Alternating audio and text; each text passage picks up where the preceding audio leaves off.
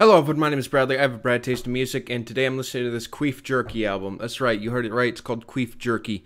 Uh, this is a project by Nick's Not Green, uh, Dev Lemons, and it's also got Hive Mind Riley on it. You may be like, Bradley, there's so much amazing music that came out today. Why are you reviewing this random ass crap? Well, because I don't know what any of this other crap is. I'm to be honest with you. I don't know what any of these are. I mean, I, I recognize Jean Dawson, but I don't know, man. None of this shit makes good content. Maybe this Jonas Brothers album. I heard Waffle House and it was horrible. But besides that, I don't know, man. There's not a whole lot to listen to. So I was like, you know what? I gotta, I gotta get more brownie points. All right, with uh, fellow community members. All right, so I'm listening to this. So maybe they'll look at me as cool, and maybe they'll let me join their gang as like background vocals, or uh, you know, let me do a rippity rap verse over it. So uh, you know. Yeah. The Michigan left. Yeah. Anyways, first song 20.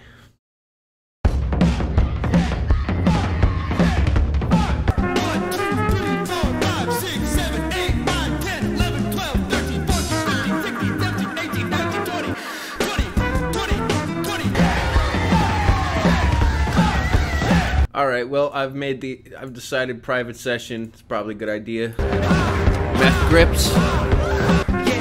Chronic with the queef. Do y'all remember that trailer that was Sonic with the? Virgin since Christmas, so I guess I've been married. Tell me if the price is right, I'm more like Drew Carey.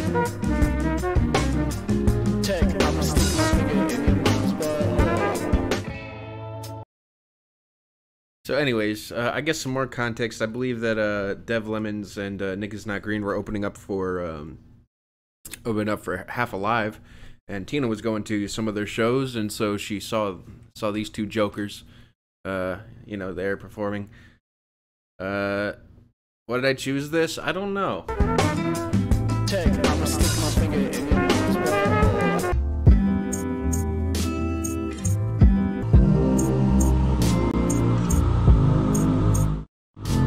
Is that the screaming emoji?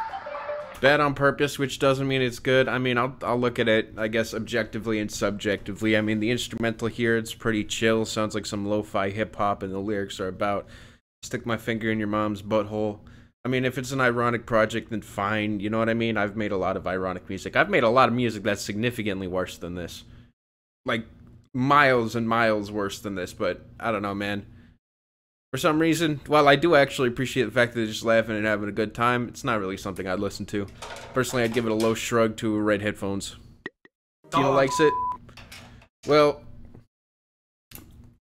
well, I'm glad Tina's enjoying it. But Tina also likes Half Alive, so her opinion's invalid. Very hard to be funny in music. Yeah, and I feel like here it's, you know, if you get the jokes, if you're in the in the crowd, which I'm not, okay, and I'm I'm not angry about that, okay? All right that I, I would it's not like i'd give this a smiley ball if i was you know with the cool kids. All i'm saying is if you let me join the cool kids all right maybe i'd get the jokes and then maybe you would get a smiley ball. Okay but it's not the same thing. All right?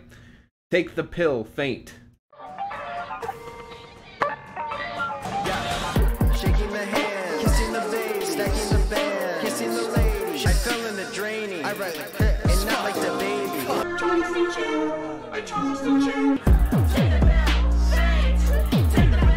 instrumental is really impressive I don't want anybody coming after me. I'm a weekend fan, I'm an ableist. I wash my hands and I take a piss. I wash my hands and I make a fist.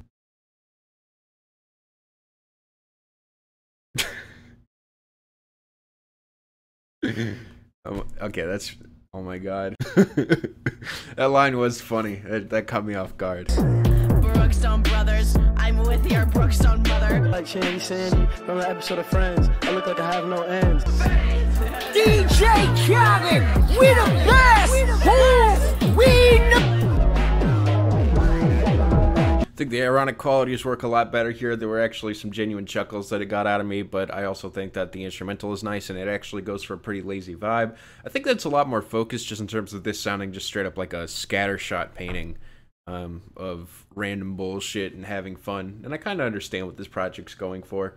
Uh, it is. It's just not trying to take itself too seriously, uh, which I feel like is infectious. So, shrug. Next song, Forward. I ponder something great. My lungs will fill and then deflate. They fill with fire, exhale desire. I know it's dire, my time today. I have these thoughts so often I ought to replace that slot with what I once. In a sad way, I don't like your dog, dog. She's cool, but she's a little awkward. In a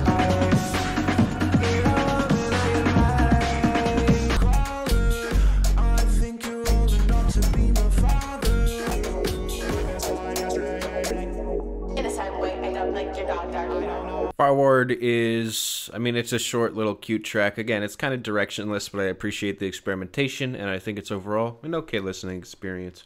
Um, some moments where I thought the autotune actually did come through as a pretty little piece to the whole experience. Uh, kind of like you know, say like on the on the Chief Keef song "Ice Cream." Then I said bye bye nicely. Next song "LLC." LLC on my mattress. You're a savage. I'ma watch Netflix on my last binge.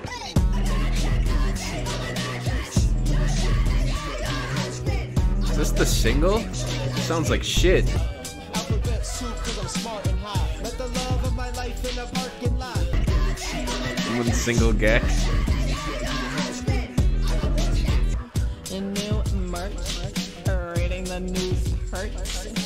You go to that nude beach, I go to that nude church, yeah. I'm the Judas of the rap game, nasty. Feel out the verse like I'm feeling your grooves.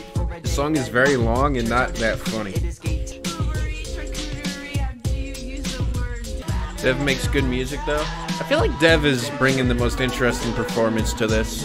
I appreciate the uh, risk taking, just in terms of most wild performances. I'm very mixed on this song. Well, again, I, I don't know, man. I, it's not something to be taken all that seriously. I think it's fun to at least look at this in some sort of objective or again subjective way, or just it, in, in general, like trying to judge it as a piece of art. And I honestly think that so far, yeah, it's. I think it's getting the point across. It's just fucking around. Um, I think the production on that one was ranging between being okay and being straight dog shit, unlistenable. Um, I think that it could use a bit more time in the grill. The red headphones. Dog. Next one, the Michigan Left title track.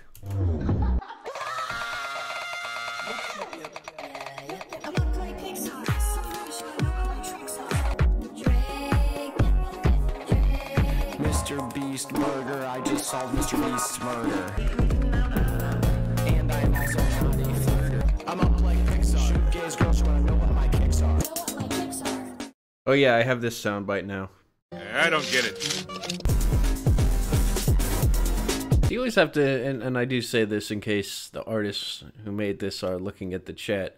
You have to understand that when I'm not very reactive to the music, they don't have a lot of mental stimulation, and these guys, they crack under the pressure of not a lot of mental stimulation, so they start typing. All right, so don't don't take too much offense to them. You know, I, I do encourage it though. I encourage you guys, you know, giving your opinions. I actually do like backseat reviewers here. In my personal opinion, I don't get the jokes, but it seems like you guys are having fun. You know what I mean? So Again, I actually really like the experimentation, but I'm not sure how much of that is coming down to Dev Lemons and Nick's, uh, Nick is Not Green's involvement. But I actually think that the final products here uh, come together a little bit better than they would if it was just basic ass shit. So eh, I'm glad that they at least took the proper steps to make it at least a little bit listenable, even though I thought the Michigan Left sounded like some playground jokes uh, with a way too fancy of a beat to match it, which doesn't. I don't know, man. I, I think it's a bit of an awkward clashing, but uh, there is still certainly a vibe to it. It's a shrug for me. Hurricane Blizzard. DJ Kevin, we the best. Who we know. I like my wife, I like my knife, oh yeah. I like my job. I have goals. You have You know, we have holes. You know, I will say one thing. This reminds me of back in the day when I was like 17, when I was, was like recording garbage music with my sister. It kind of reminds me of those days. So I do have like an admiration for it, but at the same time, like, you know, doesn't it's still ass. Toes please blow me, nose bleed, flow black bean, ration. Really have to pee, gotta use the toilet phone. Generation Z, more like generation phone. They're always on TikTok. I wish that they would just stop. God, social commentary on an album like this is always gonna be a little bit you know bit of a weird change of pace. Featuring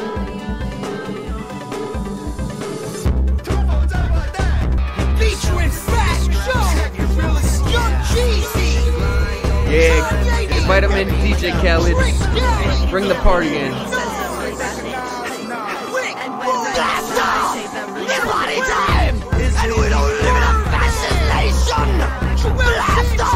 and learn about her inspiring story.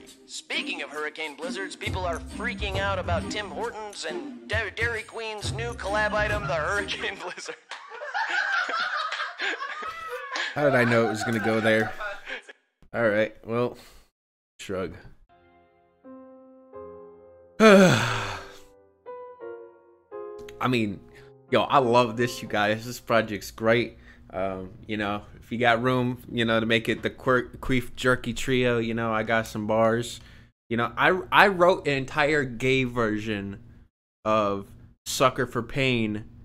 All right, but I called it Sucker for Dick. All right, I I feel like I could be an important contributor to the next project. Truly.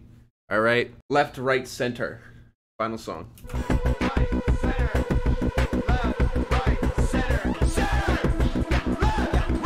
DJ Khaled. Whoa, hold on a second. Yo, this is what I'm talking about. Hold on, hold on, hold on. Look at this. Queef Jerky, Michigan left, right? Here's the page. Look at the suggested. You may also like. Bro, five out of the six albums are mine. That's what I'm, bro, that's what I'm saying. All right? And then you go, Hobo Johnson alienates his fan base.